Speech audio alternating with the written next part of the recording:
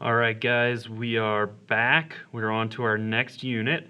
So our next unit is all about solutions, okay? So we have uh, kind of an illustration here, um, but then we have our vocab down at the bottom, okay? So our vocabulary here, we're gonna wanna know these, okay? So as we go through, please pay special attention when we get these vocab words, okay? On the next page, all right, we have our unit objectives something that we're going to want to make sure that we know how to do, right? We want to be able to know what a heterogeneous or homogeneous mixture is. That, again, has some of our vocab words there, right? Properties of our heterogeneous mixtures, properties uh, of our homogeneous mixtures, okay? So then we'll talk about our solubility, um, and that solubility is going to tell us about our saturated, unsaturated, supersaturated solutions, and how we can use a graph to actually understand what's happening with those solution solutions. Um, we'll be able to do some math with our concentrations, um, and then we also want to know about one of those uh, effects of, of our concentration, okay? So those are our objectives. As we go through, right, you can read through this. As we go through, please pay special attention uh, to these objectives, okay? So we're going to start right away getting some notes, okay? So these are some things that hopefully we have heard before, right? But if we've we've talked about our mixtures before, right? It's a combination of two or more pure substances, okay? That can be separated by physical means. Okay, so we talked about this at the beginning of the year, right? At the very beginning of the year, we talked about pure substances, um, we talked about elements and compounds, right? We've talked about now our compounds, and we've kind of moved on here now where we're talking about our mixtures. So those mixtures, right, we can separate them by physical means. So that means if we were to draw a particle diagram, right, we've got something like this, right? That may indicate water, right? I've got lots of water molecules.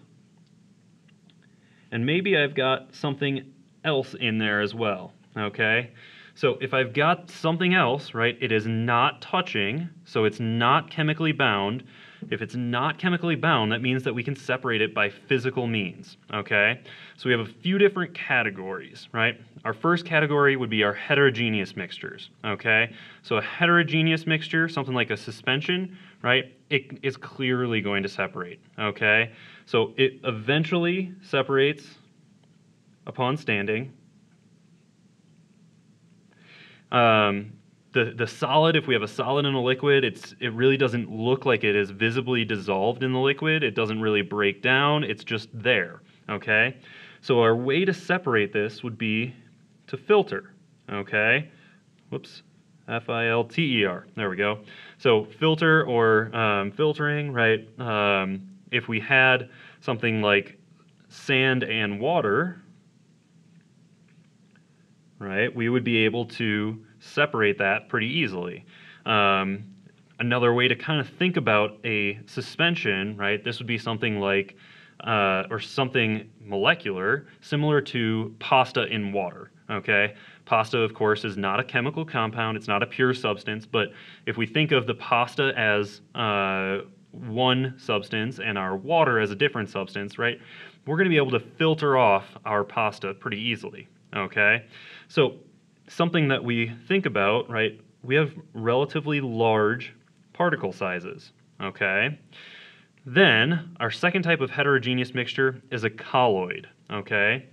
So our colloids, right, the heter it's a heterogeneous mixture that does not separate very uh, upon standing. Does not separate, there we go. Um, it doesn't separate uh, upon standing. It doesn't settle, right? It's just kind of, it's going to stay there, okay? We do have a way to separate it, actually, though, um, right? We can separate it essentially with forced gravity. So we force those particles, right, those bigger particles, down, and the little particles will stay up. The way that we actually most often do this is with a centrifuge. So a centrifuge centrifuge. There we go.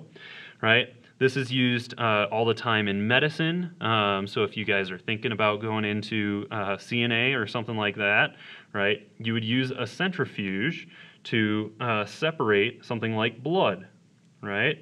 So if we have blood, we know that we actually have a mixture of these particles. But if you just have blood by itself, it's going to stay there and stay mixed. But we can separate it with a centrifuge. Another uh, common example, right, would actually be milk. Okay, so milk has these particles in there, but milk is just going to stay there, right? It's, it can just sit in your fridge for a month, and it's it's not really changing.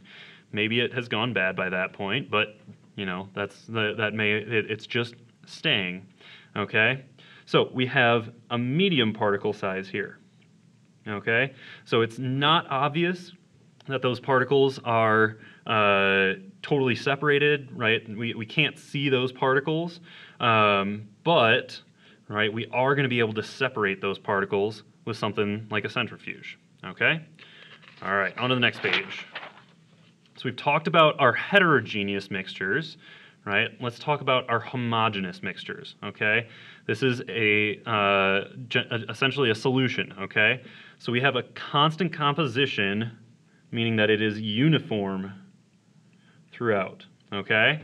So it is uniform all the way throughout. It looks like a, a, a clear solution, right? Uh, we are, we are going to be able to see through it. It is not opaque, but it can be colorless or colored. Okay, so it can be uh, totally clear, colorless. It could be totally clear that we can see through it, but it's a blue solution, right? Or maybe it's a uh, red solution, okay? So it can be colorless or colored, okay? But it has to be clear, right? We should be able to see through it, okay? So we have very small particle size, right? We're not going to be able to see them, uh, and it, it, but it can actually exist in any phase, okay? So our most common phases are liquid, um, but we'll talk about uh, a couple of other examples in a second here, okay? So some examples of this, right? If we think about soda, right? Soda uh, or juice, um, we would think about having sugar in that water. So sugar, right, is dissolved in our water solution, okay? Another example would be coffee, okay? So coffee, again, uh, we should have that caffeine, some of the uh, some other compounds that are dissolved into our liquid. Okay, so let's get some examples here, right? So some other uh, examples, right? A specific one is actually an alloy. Okay, so our alloys, this is a solution uh, where at least one of the materials is a metal. Okay, we generally think of uh, generally, right? We think about it as two metals mixed together. Okay, so we have two different types a substitutional alloy and, and, and an interstitial alloy. Uh, we'll talk about these next year in AP if you want to uh, continue with this, but we're not going to talk too much about it right now. Okay, so the only thing that we're going to say about it, right, are metals arranged in an alternating pattern, pattern with uh, a sea of electrons that kind of hold them together. Okay. Some examples, right? We could think of brass, or we could think of steel, okay? But we're not going to talk too much about that in here, okay? So our solutions, right, one type would be an alloy, right? Now let's talk about uh, on our solutions, uh, sorry, our homogeneous mixtures, we have alloys, but now let's focus on solutions, okay? All right, on to the next page there, right? We've talked about, right, our solid-solid mixture, right? That would be an alloy, okay? Now, let's kind of think more about our solid, liquid, and gas, okay? So a solid, if we have a solid that gets dissolved in a liquid, right? This would be something, like we just said, sugar water, which is basically our soda, right? Sugar water, um, maybe uh, you think of apple juice, something like that. It's clear. If we think about apple juice, it's kind of yellow, but we have a solid that is dissolved in a liquid, okay? So it takes on the phase of our uh, solvent, okay? We're going to talk about that solute and solvent in a second here, okay? So if we have then a liquid dissolved in a liquid. This would be something uh, that your, your parents might buy, right? Alcohol in water. Okay, this would be an example where we have alcohol that is going to be the, the smaller part that is going to be dissolved in our water. Okay, what about a gas dissolved in a liquid? If we have a gas dissolved in a liquid, an example of this, right? I really like drinking bubbly water. Bubbly water, we have carbon dioxide that is dissolved in our water. Okay, so that's our that would be uh, a solution where we have a gas dissolved in a liquid. Okay. The last part that we could talk about, right? We could think about a gas dissolved in a gas. That's going to be uh, something like our atmosphere. Um, and and so uh, because we have two gases, it's just an overall gas mixture. Okay. So we've been talking about right solids, liquids, or gases dissolved in other things. So let's talk about what's called our solute and solvent. Okay, so a solute, this is the minor component of a solution. So the minor component of our solution right? It is smaller. You'll notice that solute has is fewer letters than our solvent, so that's going to help us uh, remember this, right? Our solvent is the major component.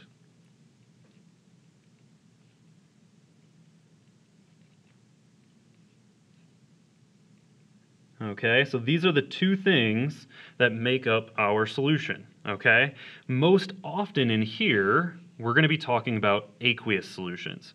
Okay, so an aqueous solution, right, that has water or H2O as the solvent. Okay, so we can think about NaCl aqueous, right? This would be table salt dissolved in water, right? So it's kind of uh, salt water that we're making there. Okay, so this is a uh, solution. Okay, all right. I'm to pause and come back in a second.